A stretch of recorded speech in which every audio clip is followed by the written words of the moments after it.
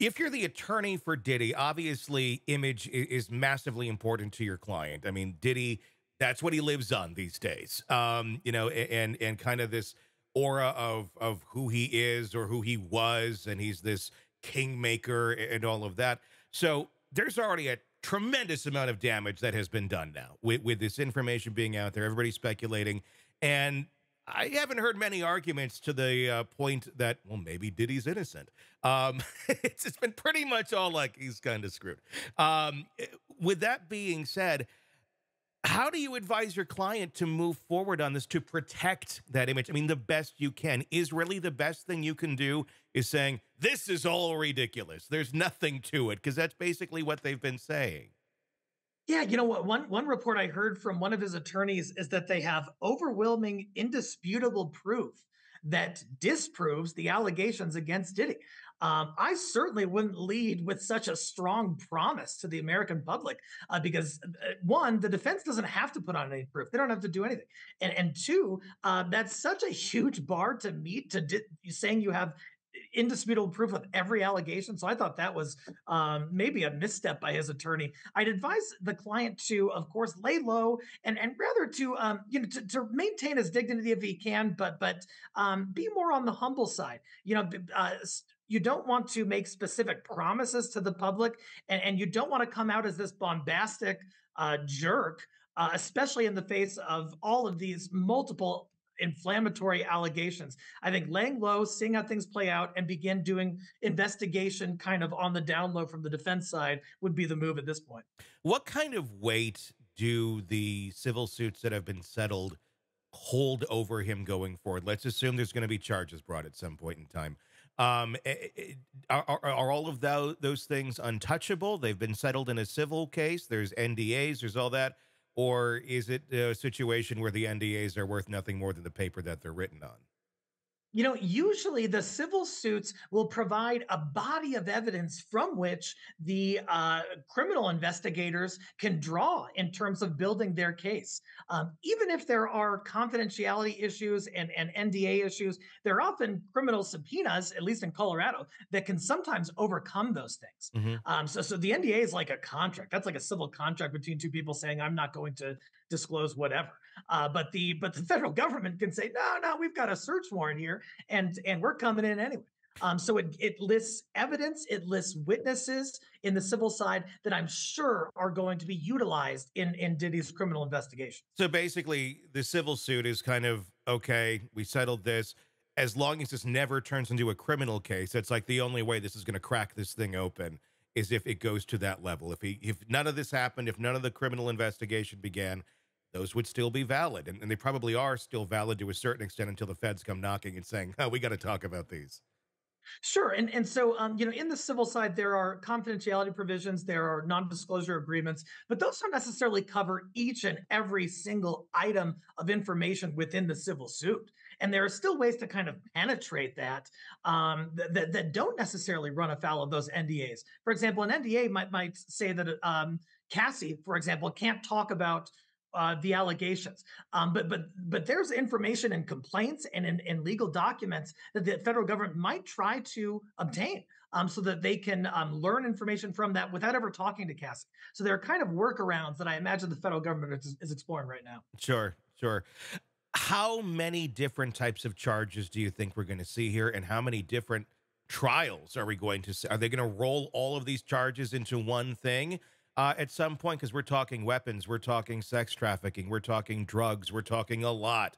And I mean, a lot, some of them may be a lot easier to prove than others. I mean, for example, weapons. Here's what we found on your property. These are not, and we don't know what they found. I mean, we, I, so I can't say for sure that these were unregistered firearms or anything like that judging from some of the information we've heard in some of the civil complaints, not going to be surprised if they are, uh, or a portion of them are. The drugs, pretty straightforward there. I mean, those then in itself are going to hold their own amount of penalties and charges. Uh, is this going to be something where there's a weapons trial for Diddy? There's a drug trial. Uh, there's a sex trafficking, or does this all get rolled into one big thing because there's so much of it that are all kind of connected together? You know the prosecutorial author- prosecutorial authorities are going to have to strategize about that because you can you can eh, play it multiple ways. Mm-hmm. You know, we look at sort of uh, uh, President Trump's legal issues, and a lot of them have overlap. A lot of them are mm-hmm. related, mm-hmm. but they still sort of charge them in a piecemeal way, um, such that there are multiple cases that span uh, across the nation, and some are more provable than others. And so, um, kind of like you alluded to, Tony, I, I'm guessing that they're going to take sort of the strongest um, uh, uh, center of evidence for for one piece of it and, and go forward in a particular locale. You know we, we know that there are raids in multiple states and so um, usually especially if they're going to bring state court charges those charges are going to have to be within that state jurisdiction. Something that happened in california oftentimes cannot be prosecuted in florida.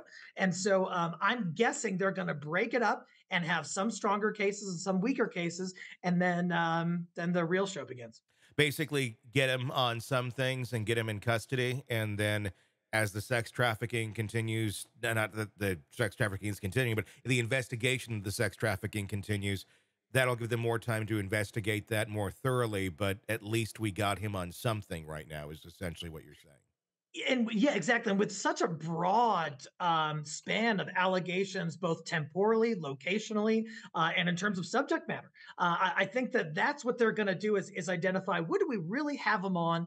Let's let's um, pull the trigger on that, and then, like you said, continue investigating the breadth of of these massive allegations um, across the nation. Continue building those cases.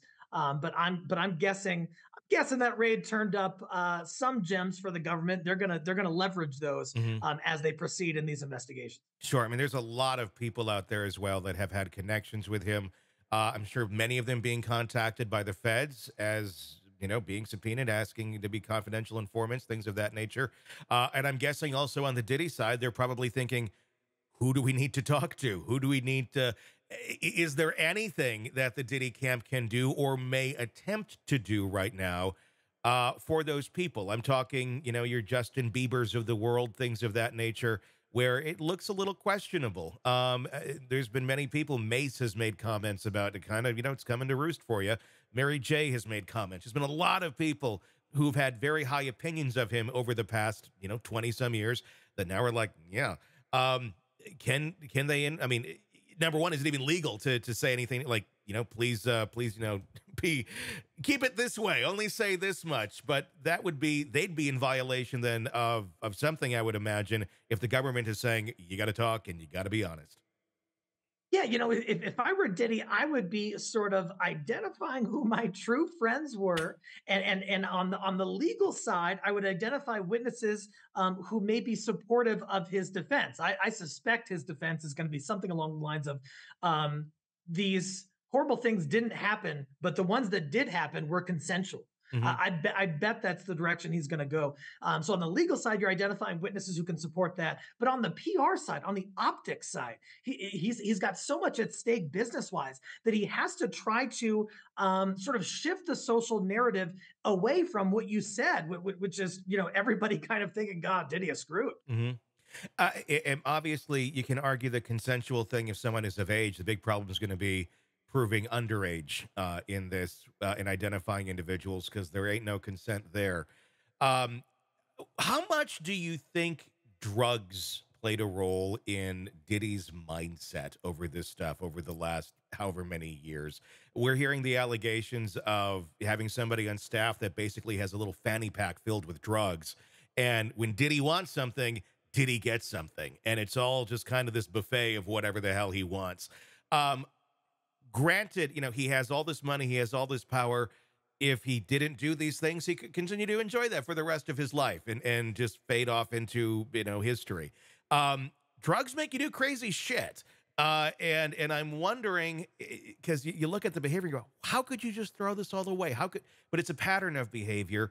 I'm wondering how much drugs play a role in his thinking and his way of conducting himself if if the allegations are true to the level at which he was using them. Yeah, you know, in my experience, pros- both prosecuting and defending drug crimes, um, they, uh, you know, as many, you know, they often lead to a distorted mindset. Sometimes an, an inflated sense of confidence, a, yeah. a, sense that someone feels bulletproof. Um, and, and um, I can't help but wonder, based on the reports I've read and the allegations of, of drugs being associated with all of these um, alleged events, that that that that was probably present and, and probably had some influence on whoever was taking them. And if it was Diddy, then then certainly would influence him. Yeah, it's um, there's so many so many tendrils to this thing, and so many things that play influence. Not that drugs, uh, you know, are an excuse, but I always kind of look for what's the recipe that made this person the way they are, and I do wonder how much that was part of the ingredients. Hey, it's Tony Brueski. If you like the podcast, be sure to like, subscribe, and press that bell so you don't miss any of our updates on the cases we're following for you right here at the Hidden Killers podcast from True Crime Today. And thanks